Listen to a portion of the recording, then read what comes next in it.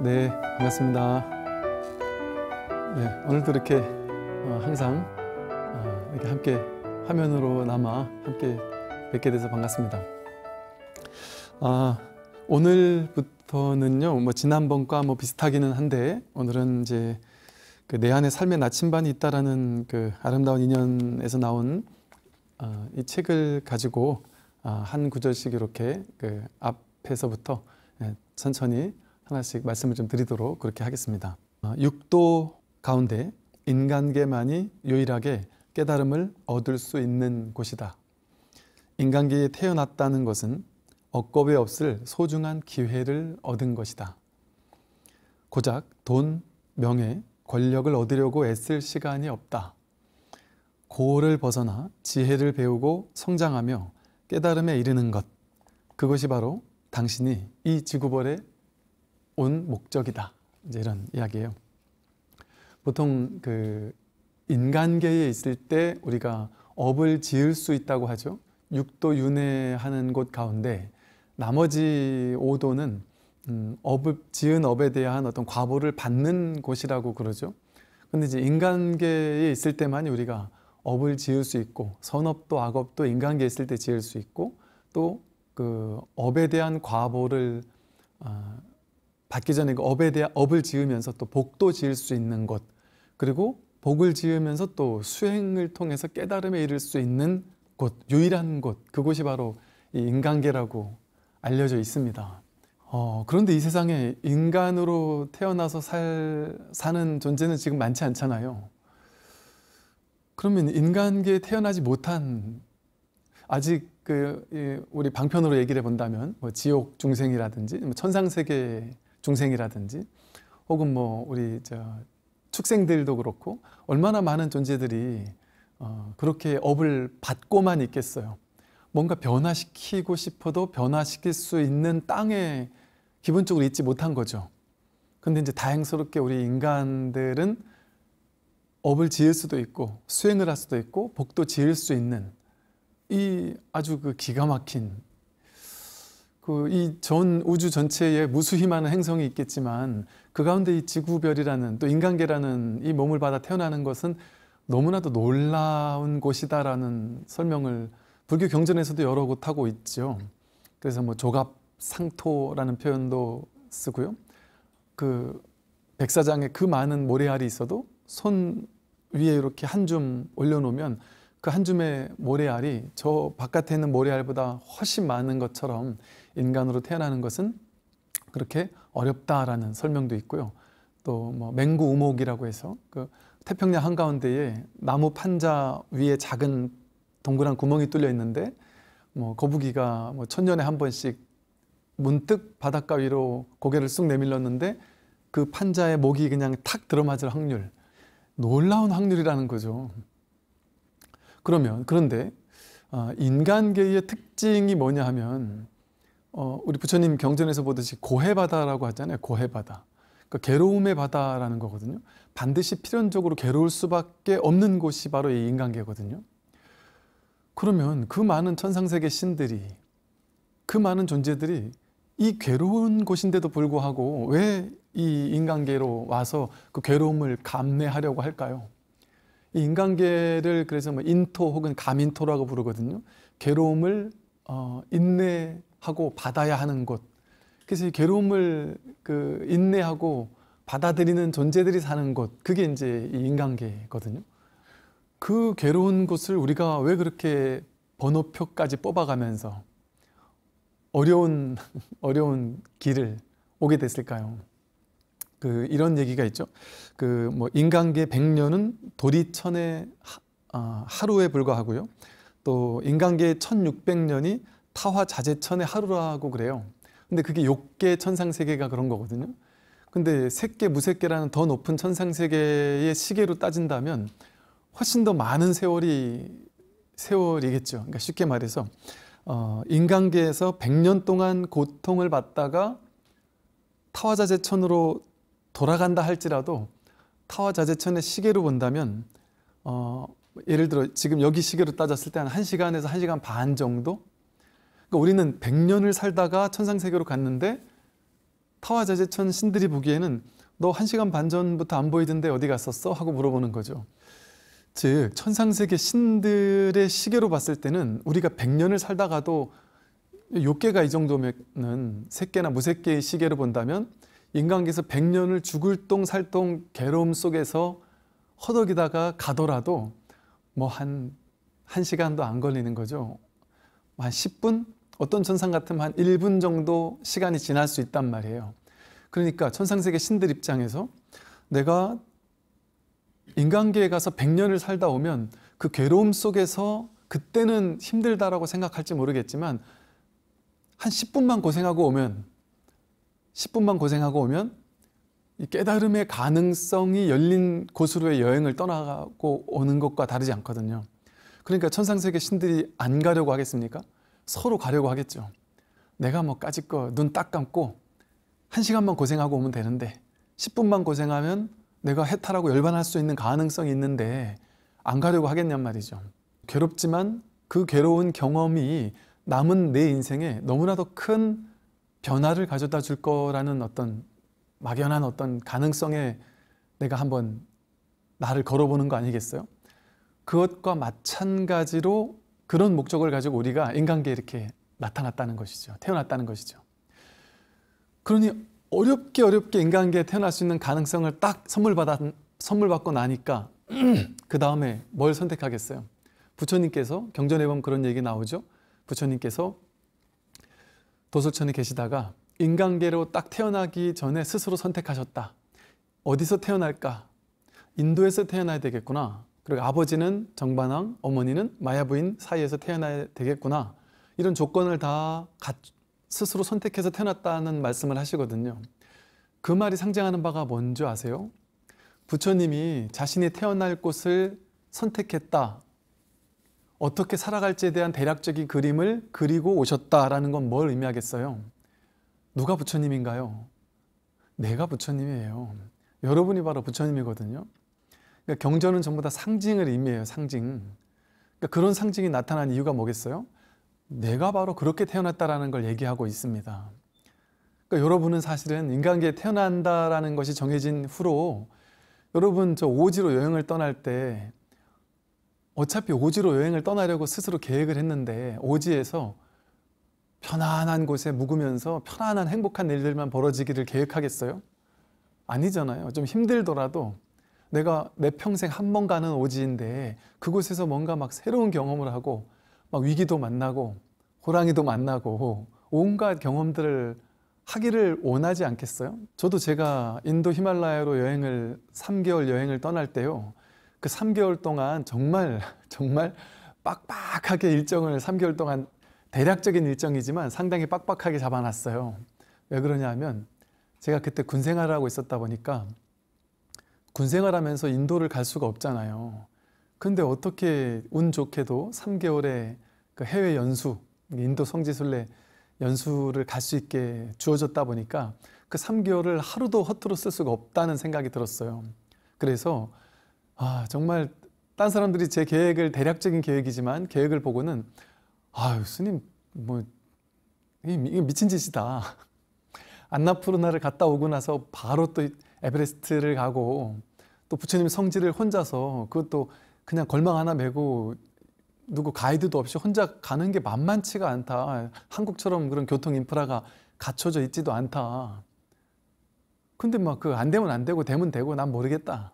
그러나 일단 한번 떠나보자 하고 아주 뭐랄까 좀 타이트하게 좀 힘들고 고된 일정이지만 어차피 인도 가는 걸 부처님 어떻게 살아가셨는지를 만나러 가는 건데 그냥 뭐 돈 들여서 편안한 곳에 앉아서 편안하게 갔다 오는 것은 좀 아니지 않겠나 하는 생각에 그냥 좀 스스로 좀 힘들더라도 그걸 당연히 감당하겠다는 마음으로 갔었거든요. 그 힘든 곳을 왜 그렇게 힘들게 계획을 세웠을까요? 마찬가지란 말이에요. 인간계로 한번 태어날 거 내가 한번 힘든 시나리오를 한번 정해보자, 잡아보자. 왜? 그래야 그 속에서 더 많은 것을 깨닫지 않겠느냐 하는 게 그 여행의 목적 아니겠어요?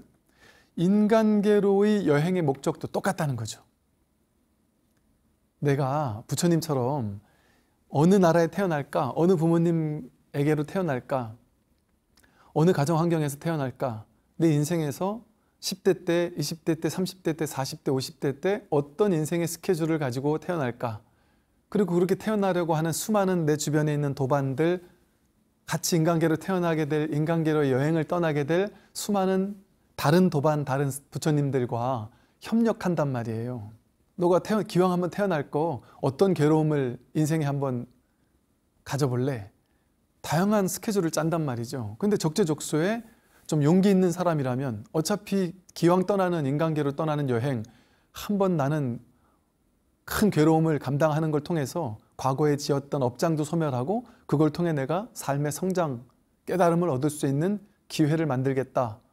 라는 사람들은 더 강렬한 괴로움의 시나리오를 짤 수도 있죠. 석가모니 부처님도 어쩌면 비슷할 수도 있습니다. 석가모니 부처님의 인생이 왜 그렇게 괴로운 일들이 곳곳에 계셨을까요? 또 여러분 인생에는 왜 하필이면 이런 문제가 있고 내 인생은 이렇게 마음에 안 들고 뭔가 이렇게 풀리지 않고 또 어떤 분들은 우리 집안에 있는 아이에게 혹은 가족 중에 누군가에게 장애가 있거나 경제적으로 너무나 어렵거나 너무나도 큰 괴로움에 처해 있거나 이런 일들이 우리 인생에 왜 이렇게 종종 등장하느냐 말이죠. 자기 스스로 선택한 겁니다. 자기의 영혼이 선택한 거예요. 왜 그런 용기 있는 선택을 했을까요? 그걸 통해 깨어나기 위해서 깨어난다라는 것, 깨닫는다는 건 뭘까요? 괴로움에서 벗어나는 겁니다. 괴로움이 진실이 아니다라는 사실을 온전하게 깨닫는 것이거든요. 그러려면 어떻게 해야 되죠? 괴로움을 먼저 온전히 경험해 봐야 합니다. 괴로움을 감당해 봐야 그 괴로움이 지긋지긋하다라는 걸 깨닫게 되고 이 지긋지긋한 괴로움에서 벗어나고자 하는 한 마음을 강렬하게 낼 수 있어요. 그런데 삶이 행복한 사람, 세상에 괴로움 하나도 없이 마냥 즐거운 사람은 괴로움에서 벗어나겠어 하는 강렬한 발심을 할 수 있을까요? 이 괴로움에서 벗어나겠어 하는 강렬한 발심은 괴로움에 한번 몸서리 쳐본 사람만이 할 수 있는 마음이에요. 그 괴로움에서 벗어나겠어 하는 강렬한 마음, 그걸 발심이라고도 하고, 발보리심이라고도 하고, 발안욕따라 삼맥삼보리심이라고도 합니다. 그러니까 불교 경전에서 누누이 강조하는 발심, 발보리심은 바로 이 괴로움에서 벗어나겠다는 강렬한 발심을 얘기해요. 그것이 공부의 전부예요. 다른 괴로움에서 벗어나는 방법이라는 것은 없습니다. 그 강렬한 발심이 일어나기 시작하면 내 스스로 강렬하게 내 스스로가 원하기 때문에 강렬하게 원하게 되면 그 원하는 것에 대한 답은 이미 자기 자신에게 완전히 갖추어져 있어요. 여러분 스승이 없다고요? 스승은 완전히 모든 곳에 있습니다. 내 주변에도 있고요. 유튜브 속에도 있고요. 온갖 곳에 나의 스승이 다 있습니다. 근데 내가 아직 준비가 되지 않았기 때문에 그 스승이 곁에 있어도 그 스승을 보지 못하는 것일 뿐이에요. 괴로움이 바로 스승이거든요. 그 괴로움 속으로 뛰어들어서 완전히 그 괴로움 속에서 그 괴로움과 하나가 되기를 선택하는 것. 내 스스로 괴로움이라는 장엄한 내가 준비해 놓았던 내 여행지에서 이러한 괴로움을 딱 자기가 여행 떠나기 전에 준비해 놨단 말이에요. 비싼 돈 들여서 그 스케줄을 잡았단 말이에요. 이를테면. 그런데 막상 그 계획을 잊어버리니까 인생에서 그 괴로움이 딱 등장했을 때 그걸 피해 도망가려고만 하는 거예요. 그러니까 그걸 피해 도망가려고 하니까 그게 나에게 깨달음을 가져다 줄 수 있겠습니까? 못 가져다 주는 거예요. 그러니까 그 괴로움이 점점 더 강하게 나를 죄에 오는 겁니다. 왜? 내가 좋은 말로 할 때 괴로움을 확 받아들이면 괴로움이 확 왔다가 그 속에서 내가 뭔가를 배우고 깨닫고 그 괴로움은 자기 할 일을 다 했기 때문에 지나갈 텐데 내가 지금 이 괴로움을 감당하고 받아들여야 될 때인데 그걸 내가 안 받아들이겠다고 거부하니까 그게 오지를 못하고 소화되질 못하고 나에게 깨달음을 가져다, 가져다 주지를 못하고 있는 거예요. 너무나도 단순합니다. 이, 이 삶의 세상의 구조는요. 우리가 이 지구별에 태어난 목적 그리고 여러분 인생에 괴로움이 오는 이유가 너무나도 단조롭습니다.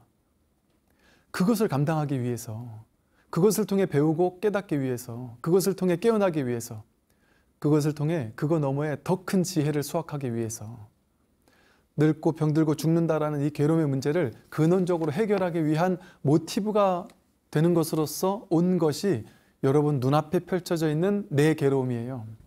그러니까 자기에게 있는 괴로움, 나에게 처한 문제들, 그것이 나를 깨닫게 해요. 그것이 나에게 최적화된 나를 깨어나게 하는 부처님의 이, 이 법계의 법신 부처님의 개인 교습소 비슷합니다. 여러분이 처한 상황 있잖아요. 남들은 다 이런 괴로움이 없는데 나한테만 왜 이런 괴로움이 왔지 하고 우리는 괴로워하지만 그게 괴로워할 일이 아니란 말이죠. 나에게만 온 이 세상 70억 인구 가운데 딱 나만을 위한 최적화된 개인 교습소가 바로 지금 나에게 처한 이 상황, 이 환경, 이 부모님, 이 조건, 이 회사, 이 경제력, 이 외모, 내가 지금 처하고 있는 이 괴로움들이에요. 그 괴로움을 빼고 내가 있을까요? 우리는 나 따로, 내 상황 따로 이렇게 둘로 나누어 놓잖아요. 그럼 둘로 나누는 것 자체가 허황된, 허망한 자기 생각, 자기 망상, 자기 분별이에요. 이 진실에서 본다면 나와 세계는 둘로 나뉘어져 있지 않습니다. 내가 처한 이 상황이 그대로 나예요. 내가 괴로워하고 있는 그 내가 괴로움을 감당하고 있다? 그거 아닙니다. 둘로 나눠 놓으니까 내가 따로 있고 괴로움이 따로 있어서 나는 괴로움을 없애고 싶어. 괴로움에서 벗어나고 싶어 하는 망상을 일으키는 거예요. 그 괴로운 상황, 괴로운 조건, 그것이 바로 나라니까요. 이 몸이 내가 아니고 이 몸이 나라서 이 몸이 저 괴로움에서 벗어나서 더 좋은 괴로움 없는 조건으로 갈 거야 라는 건 중생의 망상입니다. 진실은 나와 세계가 둘이 아닌 통으로 하나예요. 통으로 진, 진정한 자기 자신이에요. 그게 바로 12처 18개의 교리라고 제가 누누이 말씀을 드리고 있죠. 보는 나와 보이는 것은 둘이 아니에요. 보이는 것을 빼고 보이는 나가 없습니다. 보이는 나를 빼고 보이는 것이 없습니다. 들리는 것 마찬가지죠.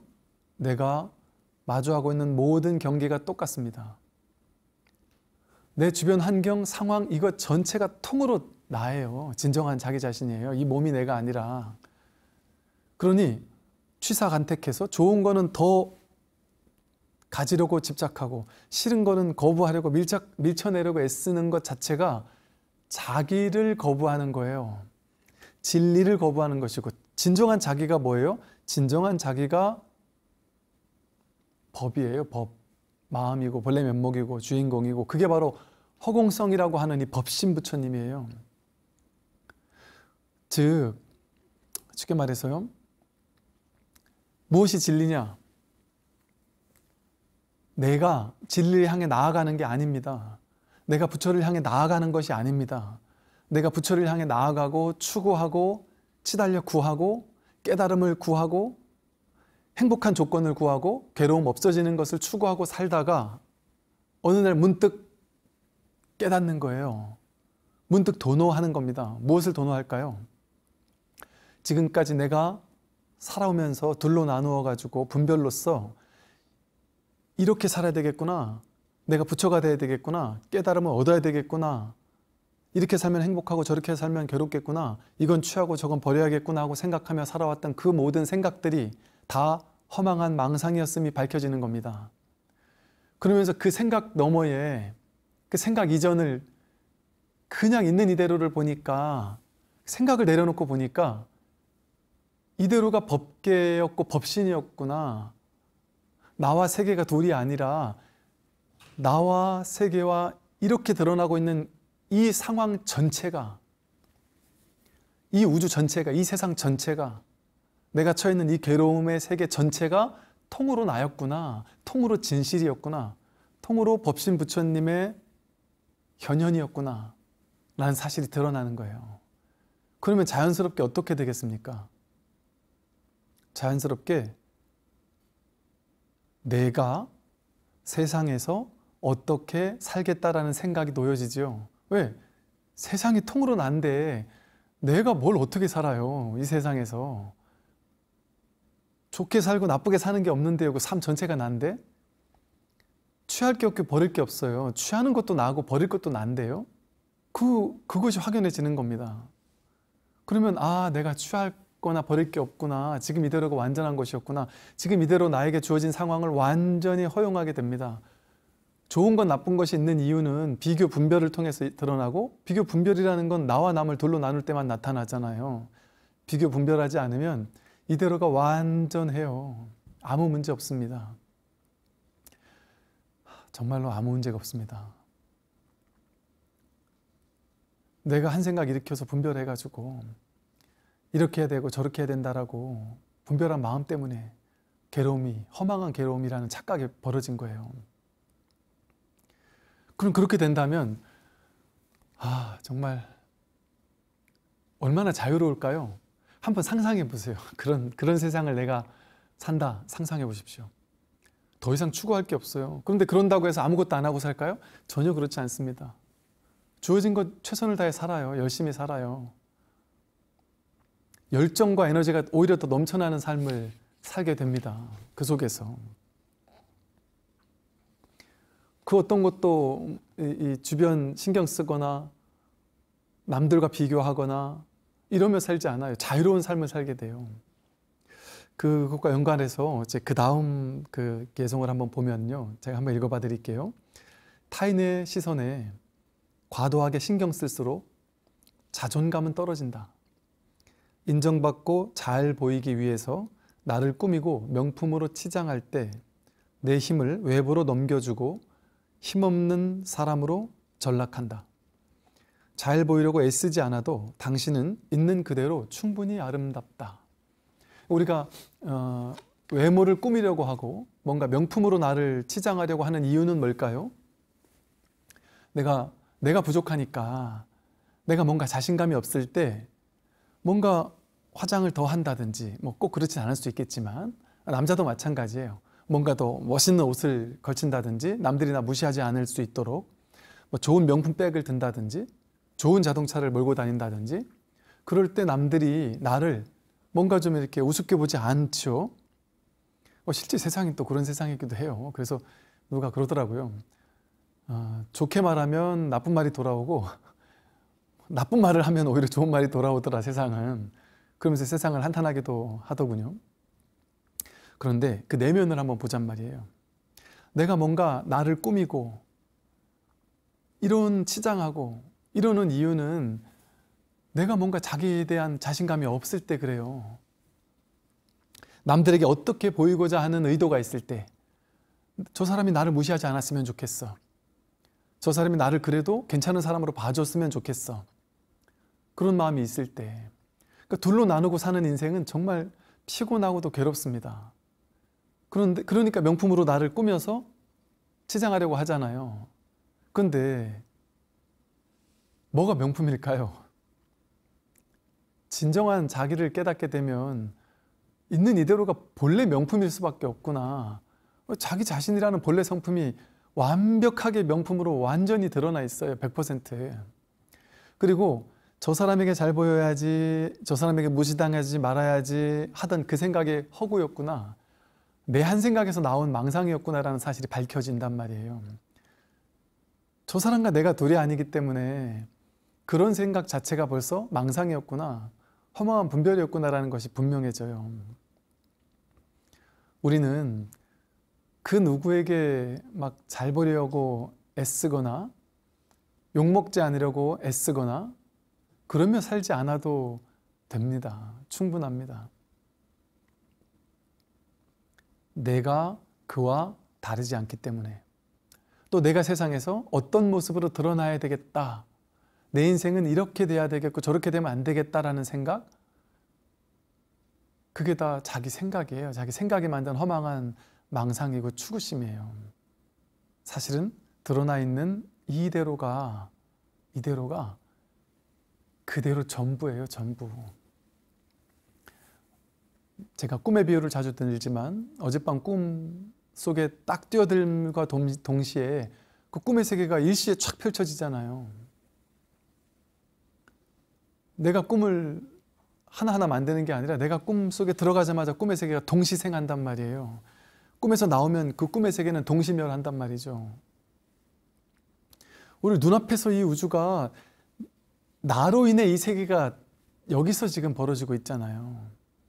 옛날부터 이어져 왔던 세상 우주라는 건 없습니다. 지금 자기 눈앞, 눈앞밖에 없어요. 이 우주 전체가 뭐가 우주 전체일까요? 저 지구 반대편에 가면 미국이 있다? 아니라니까요. 지금 내 눈앞에 목전이 전부입니다.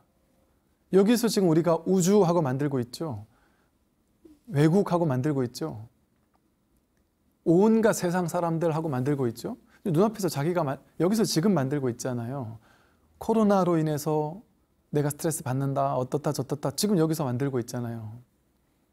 내가 만드는 거예요, 내가. 자기에게서 드러난 세상이에요. 세상 모든 것이 바깥에, 내 바깥에 실제 하는 것이 아니란 말이죠. 내 안에서. 내가 그 모든 것을 지금 여기서 드러내고 있잖아요. 그 모든 것은 지금 이 한 자리에서, 한 터럭 속에서 온 우주 전체가 드러났단 말이에요. 그러니 이 불교라는 것은요, 자기가 아, 자기의 진실을 깨닫게 되면 곧 이 세상의 진실이 드러나게 됩니다. 이 세상에 있는 모든 문제들을 우리는 지금까지 살면서 해결하려고 생각하잖아요. 자기 문제를 아프면 병을 해결하려고 하고요. 뭐 문제가 생기면 그 문제를 해결하는 걸 통해서 행복한 삶을 살려고 하고요. 그러다 보니까 모든 사람들이 평생 문제와 싸우는 삶을 살죠. 드러난 문제를 하나하나 다 해결하는 삶을 살려고 해요. 그래서 한숨 돌렸구나 하고 이 문제가 해결돼서 아, 이제 좀 살 것 같다 하면 그게 끝이 아니에요. 또 다른 문제가 또 나를 괴롭힙니다. 여러분 생각해 보세요. 평생 한 번이라도 모든 문제가 다 해결된 완전히 평화로운 이제 더 이상 문제는 없구나. 이렇게 안심하면서 살아본 적이 있습니까? 내면이 진정으로 안심하면서 깊은 안도감 속에서 한순간이라도 살아본 적이 있을까요? 없어요. 심지어 완전히 안심할 수 있는 조건이 완벽하게 갖춰졌을 때, 내가 그렇게 꿈꾸던 모든 조건이 다 갖춰졌을 때, 자식들도 원하는 대로 성장했고, 좋은 학교 나왔고, 좋은 회사 취직했고, 행복하고, 남편도 만족스럽고 회사도 만족스럽고 모든 것이 완벽하고 돈도 완전하게 벌어놨다 했을 때 그때 행복할까요? 그때 더 두려워합니다. 오히려 그걸 위해서 노력할 때보다 그 완벽하게 모든 걸 갖춰졌을 때 사람들은 신기하게도 더 두려워합니다. 왜 두려워할까요? 내가 이런 것을 누려도 되나? 이게 곧 사라지지 않을까? 분명히 사라질 거야. 언제 물거품처럼 사라질지 몰라. 이러다 내가 갑자기 죽는 거 아니야? 병이라도 걸리는 거 아니야? 나에게 어떤 문제가 생기는 거 아니야? 자기 마음 속에서 미래에 대한 막연한 두려움을 만들어냅니다. 우리의 마음은요, 이 뭐랄까, 이 완전히 깨닫기 전에는 근원적인 두려움에서 결코 벗어날 수가 없습니다. 그리고 그 내면에 내면이 완전히 안심하지 못하고 그 어떤 근원적인 두려움으로 들끓고 있다라는 것은 곧 내면이 두려우면요 외부 드러난 세계도 두려울 수밖에 없어요. 그러니까 이 사실은 세계 문제라는 것은 없습니다. 이 세상의 문제라는 것은 없습니다. 내 주변에 어떤 문제로 난 힘들어. 이 문제만 해결되면 좋겠어. 저 문제만 해결되면 좋겠어. 자식이 말썽만 안 부리면 나는 행복할 거야. 아닙니다.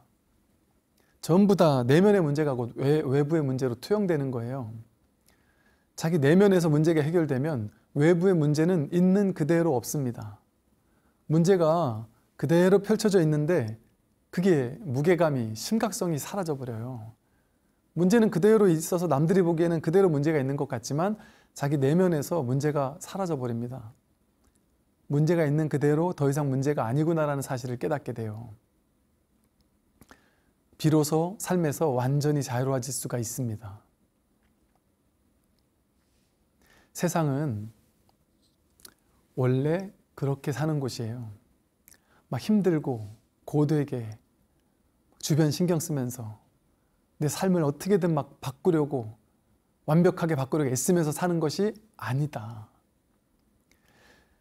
지금 완벽하게 나 딱 하나를 위해서 나 딱 하나를 위해서 이 놀랍지 않나요? 이 온 우주 전체가요.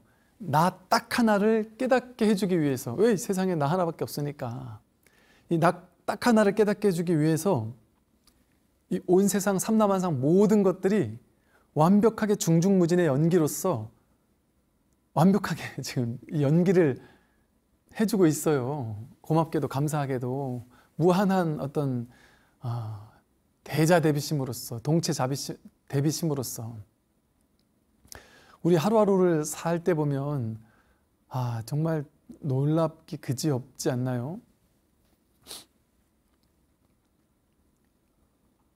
어, 제가 이렇게 목이 마르잖아요. 그러면요. 이렇게 물 한 모금이 깨끗한 물 한 모금이 이렇게 완벽하게 주어져요. 이게 너무나도 당연하잖아요. 결코 이것은 너무나도 당연한 일이 아닙니다. 이걸 나한테 주기 위해서 어, 여기 갖다 주신 분도 계시겠고 이 컵을 만든 분도 계시겠고 이 정수기에서 떠오셨겠죠. 그 정수기를 이 물을 오염된 물을 정수하는 기술을 누군가가 이 세상에서 무수히 많은 회사를 만들어서 연구하고 노력해서 그 정수기를 만들었을 거 아니겠어요? 거기에 얼마나 많은 사람들이 노력을 했겠어요? 그 무수히 많은 사람과 회사와 집단적인 노력이 없었다면 또 그들의 무수히 많은 사람들의 노력이 없었다면 저는 이 한 한 잔의 물을 먹을 수 없습니다. 근데 우리는 너무 쉽게 너무 너무나도 간단하게 물을 마시잖아요. 그러면서 이 속에 얼마나 감당하기 어려울 만큼의 온 우주 전체의 감사함과 은혜와 정말 고마움이 다 담겨 있는지 모른단 말이에요. 이것만 그래요. 제가 부산에서 서울까지 오려, 오려고 마음 내니까 마음만 내면 나는 불과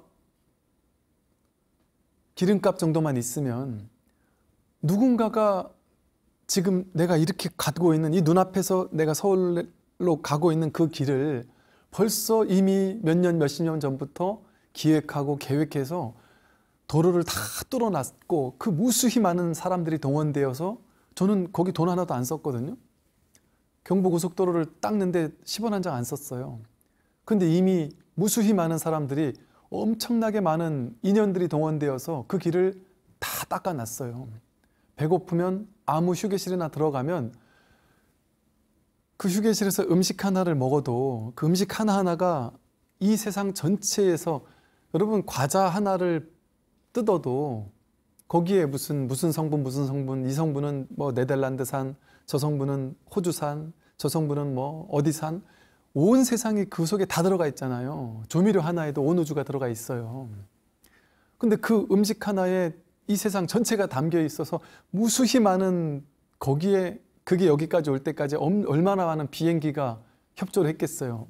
얼마나 많은 배가 협조했겠고 얼마나 많은 사람들이 직간접적으로 협조를 했겠습니까? 그 중중무진의 무수히 많은 연기적인 감당기 어려운 고마운 일들이 제가 길을 걷는 곳곳마다 무수히 많은 감당하기 어려운 감사한 일들이 전체에 펼쳐져 있어요. 얼마나 놀라운 일입니까? 그걸 우리는 그냥 너무나도 간단하게 난 돈을 지불했어. 난 내가 열심히 돈 벌어서 내 능력 가지고 돈 지불했으니까 난 끝이야. 이렇게 생각해요. 정말 지불했습니까? 그 무수히 많은 사람들이 그렇게 만들어 놓은 그것에 단돈 천 원 지불하고 그 맛있는 단돈 만 원을 지불하고 그 음식을 먹으면서 정말 거기에 지불 다 했나요? 그 음식이 여기까지 오는 동안 희생한 사람들의 노고에 내가 정말 그 만 원짜리 한 장 가지고 지불한 게 맞, 맞을까요? 고등어 한 마리를 먹었다. 그럼 그 고등어에게 값을 지불했습니까? 자신의 온몸을 바쳐서 자신의 전생에 키워둔 자기 온몸을 바쳐서 우리 앞에 단 한 끼를 위해서 이렇게 주어졌는데 그 생명에게 다음은 돈 천 원짜리 몇 장 준 거 가지고 그것도 그 생명에게 준 것도 아니에요. 식당 주인에게 줬지. 그래 놓고 나는 할 거 했어. 이렇게 생각한단 말이에요. 그 감당기 어려운 이 무한한 감사함을 그렇게 생각하지 못하고 산단 말이죠. 이 세상은요, 완전해요. 너무나도 놀랍게 완전하지 않던가요? 이렇게 우리가 너무나도 쉽게 이렇게 살아가고 있잖아요. 이, 이 중중무진의 무수히 많은 온 우주 전체가 하나가 되어서 연기적으로 다 연결되어서 내가 길을 걷는 곳곳 꽃길을 만들어주고 있단 말이에요. 내가 살아, 살아가는 매 순간순간에 나를 위한 완벽한 조건을 갖추고 있단 말이에요. 뭐 하루고 비싼 돈 주고 50억 주고 빌딩을 내 돈 주고 사야 돼요? 사지 않아도 그냥 단돈 만 원만 들고 그 빌딩에 가서 높은 곳에 가서 경치 좋은 곳에 가서 풍경을 감상을 마음껏 할 수 있어요. 그 비싼 돈 주고 안 사고 그 속에 있는 사람들 월급 주고 하면서 청소하고 하면서 고생 안 해도 이 간단하게 완벽하게 주어져 있는 아 정말 놀랍지 않습니까? 제가 인도를 가고 히말라야를 가니까 그 히말라야 꼭대기까지 그 무수한 온 우주 전체의 도움이 그곳에까지 다 있단 말 없는 곳이 없더란 말이에요. 얼마나 이렇게 우리가 감격스러운 감동스러운 세상을 우리는 살고 있습니까? 근데 우리는 그 놀라운 고맙고 감동스러운 것에 있는 그대로 만족하고 감사해 하면서 살지는 않고 100가지 중에 한두 가지 난 좋은 게 있을 때 그걸 보고 내 인생은 괴롭다라고 생각한단 말이에요. 옛날 어떤 스님이 벽돌을 가지고 집을 졌는데 나중에 다 짓고 나서 보니까 벽돌 중에 한 개가 삐뚤어져 있더라는 거죠. 그래서 속, 속상해서 이걸 다 무너뜨리고 다시 져야 되겠구나 하고 막 속상해 하는데 큰 스님이 지나가면서 완전하다, 완벽하다. 이게 왜 완벽합니까? 지금 잘못한 거 안 보이십니까? 했더니 너는 999가지의 잘 돼 있는 벽돌은 보지 않고 하나가 잘못되어 있는 벽돌을 보는구나. 우리 인생도 그와 비슷하지 않을까요? 여러분 지금 눈이 멀쩡해서 세상을 볼 수 있는 이 놀라운 감동 속에 살고 있잖아요. 눈이 보이지 않는 누군가에게는 갑자기 눈이 보이지 않는 누군가에게는 엄청난 괴로움이겠지만 우리는 멀쩡한 눈을 이렇게 뜨고 있잖아요. 그 무엇과도 바꿀 수 없는 수백억과도 바꿀 수 없는 놀라운 일이 지금 여기 완전히 갖춰져 있지 않나요? 하나하나가 모두가 놀라운 일이 아닌가요? 그런데 내가 나는 지금 돈을 좀 더 벌고 싶은데 못 벌었어. 자식을 조금 더 좋은 대학에 보내고 싶은데 못 보낼 것 같아. 성적이 나빠. 남편이 조금 더 좋은 사람이었으면 좋겠는데 이런 어찌 보면 작은 것들 그 놀라운 무한한 그, 그 감사함과 감동적인 것들에 대한 고마움을 잊고 작은 괴로움 때문에 괴로움이라고 해, 해, 하며 산단 말이에요.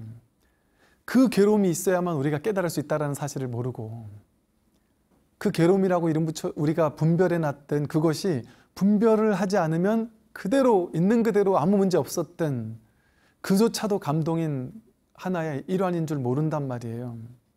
그리고 그나마 그것이라도 있어야 내가 그걸 통해 배우고 깨달아가고 성장할 수 있다는 사실을 우리는 그동안 간과하고 모르고 살아왔더라는 것이죠. 삶을 제로에서 다시 한번 볼 필요가 있습니다. 내가 정말 괴롭다고 하는 게 진짜 괴로운 것이 맞느냐? 우리 인생이 정말 그렇게 괴로운 것일까요? 놀랍게 내가 감당기 어려울 만큼의 감사함과 감동과 이 무한한 온 우주 법계의 도움을 우리는 매 순간 너무나도 눈물겹게 감동적으로 받고 있는 게 아닐까요? 그게 진실에 더 가깝지 않나요?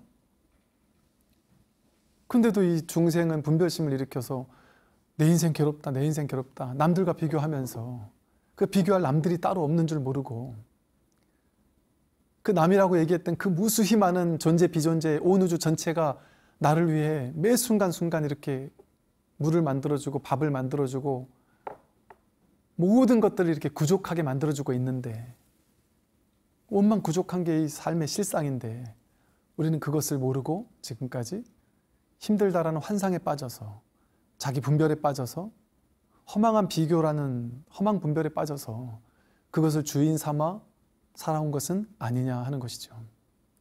그래서 이 진실에 눈을 뜨게 된다면 정말 이 삶이 얼마나 눈부시고 아름다운 곳인지 뭐 눈부시다 아름다라는 말도 필요가 없어요. 그냥 있는 이대로일 뿐이죠.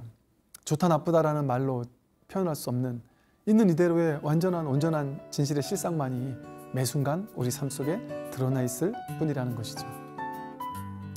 네, 오늘 여기까지 아, 말씀을 드리도록 하겠습니다. 네, 성공하십시오.